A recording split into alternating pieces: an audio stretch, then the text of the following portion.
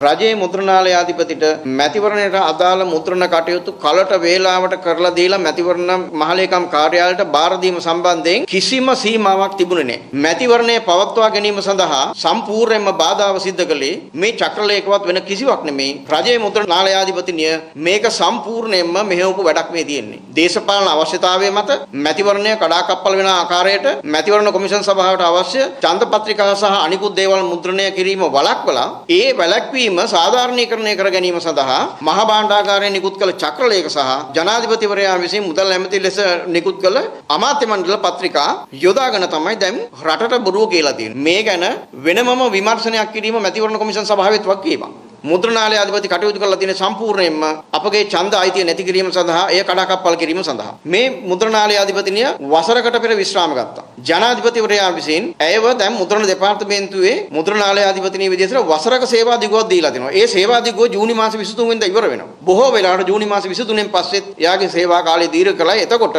ජනාධිපතිවරණය පැවැත්වෙන්නේ මෙම මුද්‍රණාලය අධිපතිගේම කාලය වෙන්න පුළුවන්. එතකොට මොන මගඩියක් වේද කියලා කියන්න බෑ. රටේ ලෝකෙ සිදුවන උණුසුම් පුවත් දැනගන්න සියත නිවස් YouTube channel එක අදම subscribe කරන්න.